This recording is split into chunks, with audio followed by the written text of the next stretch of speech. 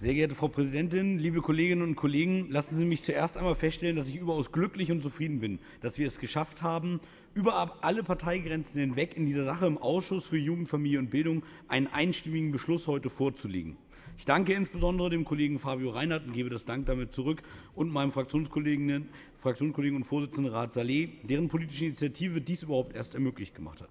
Ein solcher einstimmiger Beschluss das ist leider in diesem Parlament keine Selbstverständlichkeit. Und bei dem Thema Flüchtlinge wurde in der Vergangenheit von den unterschiedlichen politischen Kräften in dieser Stadt dieses Thema oftmals auch politisch instrumentalisiert. Dieser Beschluss jedoch zeigt es, dass es vielen Abgeordneten hier in diesem Haus zuallererst um das Wohl der Menschen und vor allen Dingen der Kinder, die in unsere Stadt kommen, geht. Das finde ich sehr richtig. In der Sache besteht sehr großer Handlungsbedarf. Die Zahl der Asylanträge in Berlin ist von 9.500 im Jahre 2012 auf 18.500 im Jahre 2013 angestiegen. Das bedeutet eine Verdopplung der Fallzahlen. In den Berliner Flüchtlingsunterkünften haben sich fast auf den Tag genau, wenn man die Zahlen nimmt, vor einem Jahr 1.893 Kinder aufgehalten. Es ist davon auszugehen, dass es bis zum heutigen Tag auf keinen Fall weniger geworden sind. Von diesen Kindern waren damals allein 861 im Kindesalter, äh, im Kita-Alter, also unter sechs Jahren. Wir haben gesehen, dass von dieser Anzahl eine wirklich nur verschwindend kleine Zahl von sechs Prozent überhaupt eine Kita besucht. Und nun, das sehen wir, ist, der, äh, ist dieses äh, dramatisch und wir wollen auch, dass sich hier dran etwas ändert. Zuerst müssen wir uns natürlich angucken, und das haben wir gemeinsam getan im Ausschuss, woran liegt das?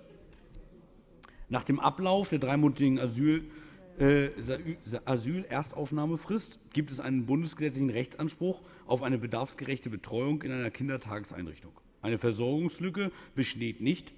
Platzmangel ist also nicht der erste Grund, den wir äh, annehmen müssen, warum die Inanspruchnahme von Kitaplätzen genau in dieser Gruppe viel zu wichtig ist. Meiner Ansicht nach bestehen, das hat sich im Ausschuss auch gezeigt, fünf Gründe dafür, diese sozusagen zu haben.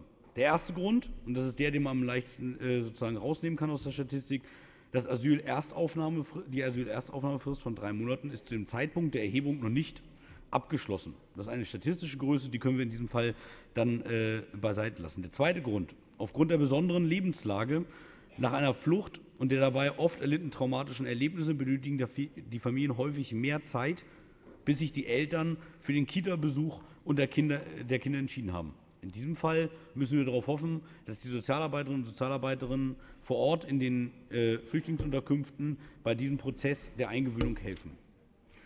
Die unübersichtliche Zuständigkeitsregelung der Jugendämter aber ist etwas, was wir sehr wohl ändern können und was wir mit diesem Antrag auch ändern wollen. Die oftmals kulturell bedingte Distanz werden wir zumindest äh, per Gesetz nicht schnell ändern können. Und nein, und das möchte ich als fünften Punkt hier mit aufzählen in meiner Rede, es ist nicht so, dass sobald die Nachfrage dann besteht, auch wirklich ein Platz da ist. Wir haben in Berlin das Problem, dass wir mehr Plätze brauchen und einen steigenden Bedarf haben. Wir werden dafür mehr Geld ausgeben müssen. Der Finanzsenator ist heute nicht da, aber ich vermute, Herr Feiler wird das gerne mit übernehmen.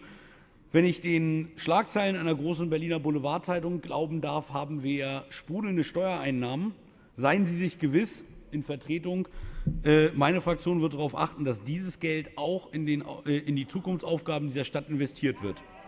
Das heißt aus meiner Sicht Geld für den Ausbau von Kita und auch vor allen Dingen die Qualitätsentwicklung. Ich hatte es gesagt, dass Herr Nussbaum nicht da ist. Ich hätte Herrn Nussbaum es auch gerne selber gesagt. Ich werde es ihm, wenn, wenn Sie möchten, das Protokoll zuschicken. Ist kein Problem. So, bei den letzten drei Punkten, und das möchte ich noch kurz äh, mit ranbringen, jetzt kommen wir schon wieder, jetzt geht die Zeit leider äh, so schnell flöten.